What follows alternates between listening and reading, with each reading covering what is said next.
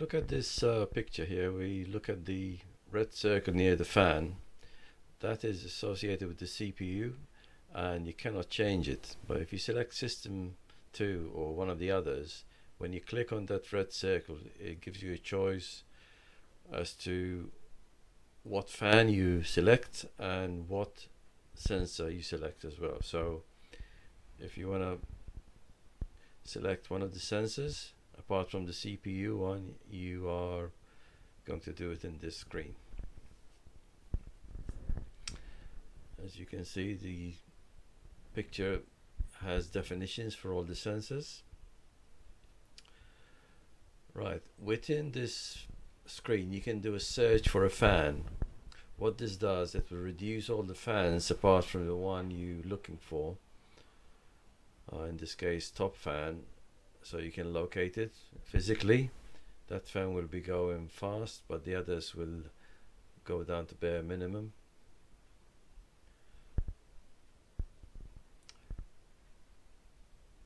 Okay and here we can look at the fans uh, in particular. So if we look at the front fan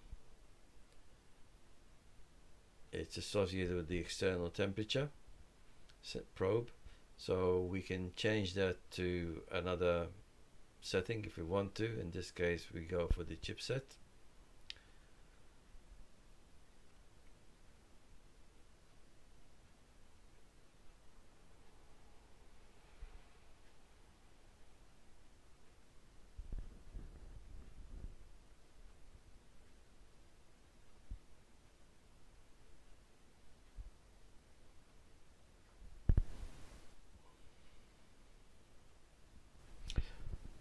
one of the things you can do with the system information viewer Smart 5 Advanced is change the assignments to your fans in terms of the heat sensor.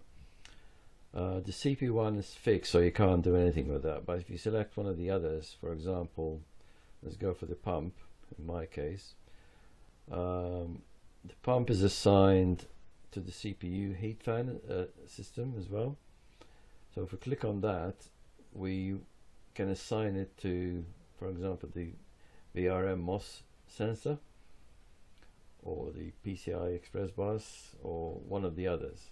So you do that by clicking on that or, or whichever one you want to choose. But in this case, I want to keep it assigned to the CPU.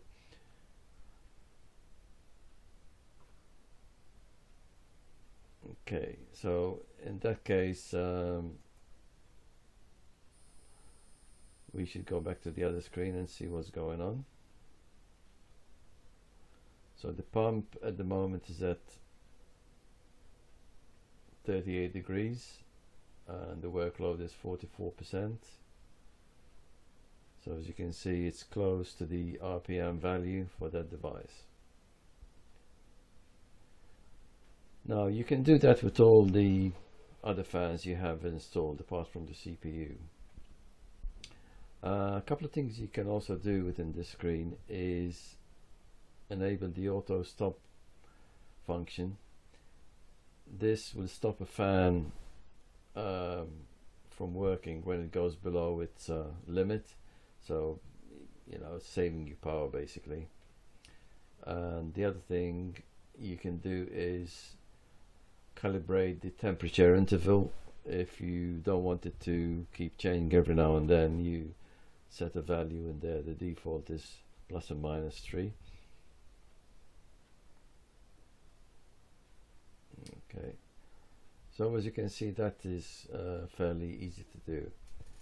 Also in here you can um, change the curve of uh, the RPM against the workload. So you can do whatever you like in here.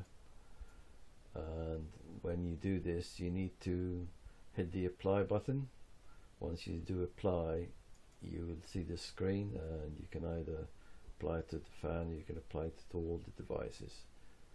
So um, we're going to do that in this case.